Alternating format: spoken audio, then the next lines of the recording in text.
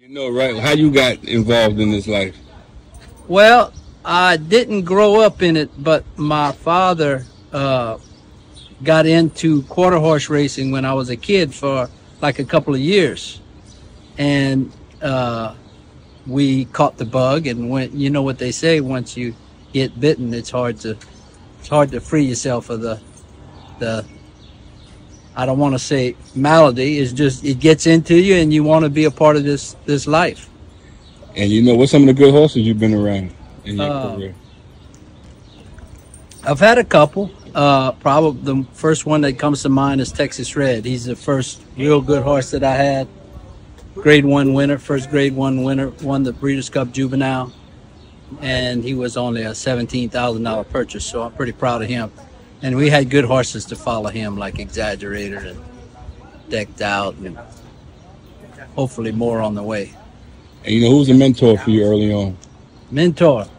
Uh, well, I started, uh, I, I finished up a equine degree at, a, at Louisiana Tech in in, in uh, Ruston, Louisiana, and my first job on the track was in Maryland with a guy named Tommy Cavanis, just a few months, and then I went on to a guy named Charlie Hadry, who was a legend out there in Maryland. He trained he trained uh, uh, private terms and horses like that. That's where I got my start on the track.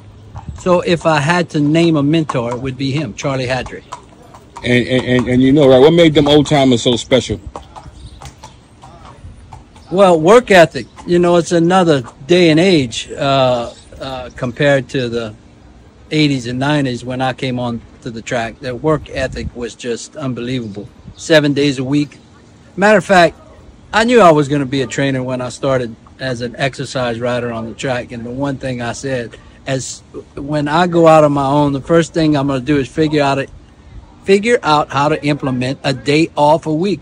A man, man and beast And it- needs a day off a week. I'm sorry. I don't care what the old timers say. A man needs a day off. And that, in, and like I said, the horses need a day off too. So I did it. And, uh, uh, yeah, you got me uh, comparison work ethic compare uh, in this day and age compared to them and then. And we've changed it up a little bit, but maybe we're not as dead set on the fact that a horse needs to get out and train every day. And you know, can you do you remember any of them old time black grooms that was under the Chevrolet back in the day? first man comes to mind is, is Bo. I wish I remembered his name, but uh, we used to, man, that was the glory of youth. We used to get up at four and five in the morning, work all morning, and play basketball at night. Can't do that anymore. But Bo's my man in Maryland. And of course, I got several friends and uh, guys that used to work for me here in Louisiana. Norris Green worked for me for years. He's still on the track. I think he's 75 years old, still grooming horses, but he just loves it. And uh, Sherman Savoy and, and guys like that were uh, just good friends and uh, adds to the, the the the coolness of the culture here in Louisiana. And what made this track, the fairground, so special?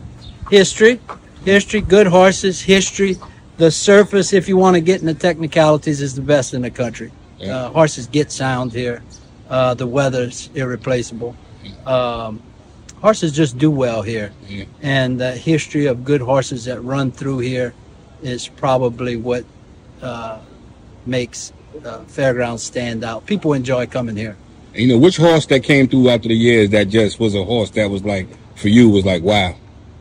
For myself or Just someone it, else. it don't even matter. It, it, just that horse that had that wow factor for you. for myself. I mean, on my my own personal Texas Red. Like I said, I'm repeating Texas Red. He's a he's a difference maker in my life, and he was a running son of a gun. So, seventeen thousand, grade one winner, over two million dollar earner. It's hard to forget ones like that. The real players inside the backstretch, right? How important is the men and women that do this job Oh every day? man, that's an understatement. You can't, you can't. These horses take a lot of time, a lot of work.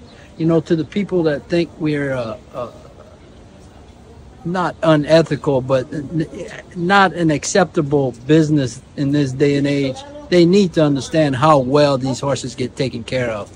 Fed three times a day, sponge baths, massaged, stalls clean. They taken care of. They live better lives than most humans. So uh, people need to understand that.